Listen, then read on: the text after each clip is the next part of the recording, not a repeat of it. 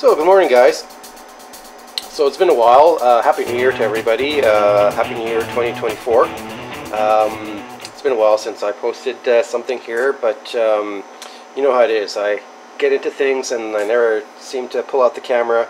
But I thought I'd uh, just do this real quick here. This is uh, this is a high probability of failure project.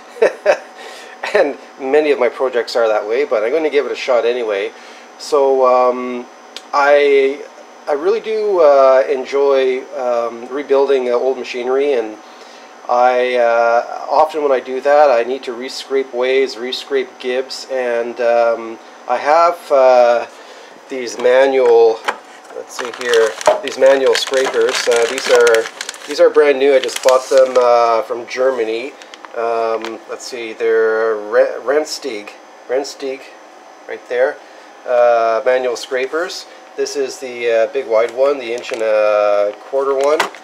And this one right here, um, same thing, it's just narrower. So that one is uh, three quarters of an inch. Um, so these are brand new, I just got those.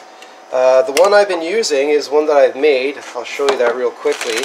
It's, uh, it's just really not that great, but anyway.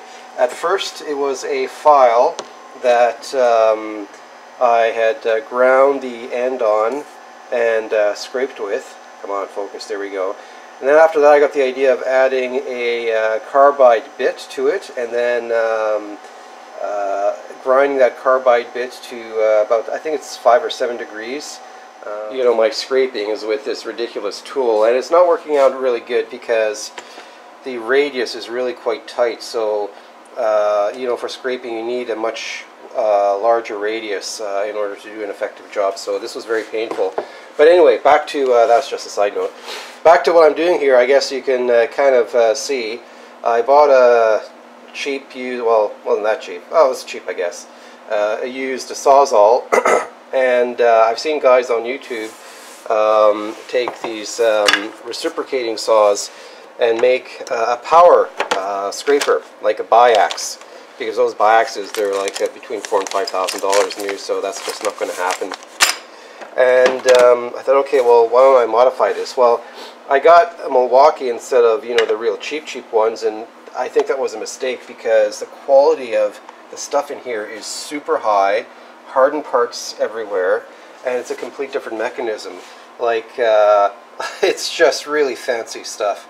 So there's this uh, cam system right here um, with a counterweight and the counterweight has got a pin that's offset that runs the um, uh, the link bar. And the link bar even has a super nice bearing in there. I don't know if you see that. Um, surprising how good the quality is of uh, what they put in there but I guess you get what you pay for. And um, where's the other part? Oh yeah. Then it uh, oops see here then it runs you know, this guy that you're familiar with right here back and forth.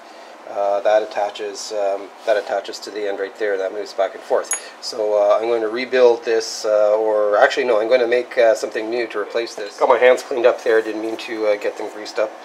Uh, anyway so that means um, so here's the issue.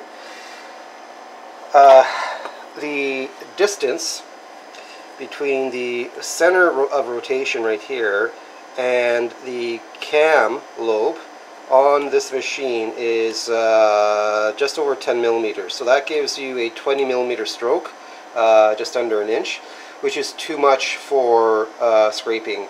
Um, what uh, what I understand uh, a 10 millimeter stroke is what's uh, what's what's required for fine to medium scraping for really rough scraping yeah you could use this 20 millimeter but I don't do anything that crazy so there isn't any space in here to, uh, you know, drill another hole and bring it in because it will center over this existing shaft. So, you know, this is not going to work. And this is why some of the cheaper units that have, uh, I think it's called a Scotch thing, uh, is better because it's very easy to modify. And uh, anyway, so what I'm doing instead, um, let me just bring you over to the uh, notes is I'm going to turn a new uh, a new wheel.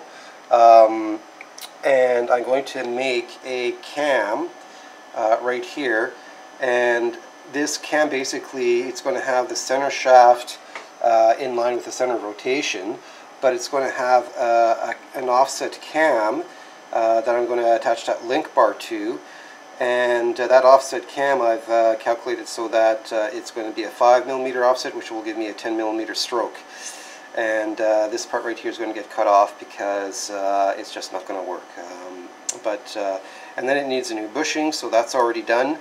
Um, and the next part I'm going to do right now is uh, is this cam feature right here. So what I did back on the lathe is um, I have a uh, hardened pin. These are just your standard pins that uh, you would buy at McMaster-Carr hardened, and I threw it in the heat treat oven and uh, brought it up to 1550 degrees Fahrenheit to anneal it. And uh, it is uh, I'm just chucking it up in the four jaw uh, because I'm putting in the four jaw in order to turn that cam feature. So I'm going to have to offset the well I've never done this before so I hope this is how you do it. I'm going to offset the jaws in one plane 5 millimeters and uh, hopefully that will give me uh, my 10 millimeter um, you know swing. So that's the idea behind that. Uh, that's what I'm up to uh, this morning and um, I'll uh, see I'll bring you along as, uh, as I go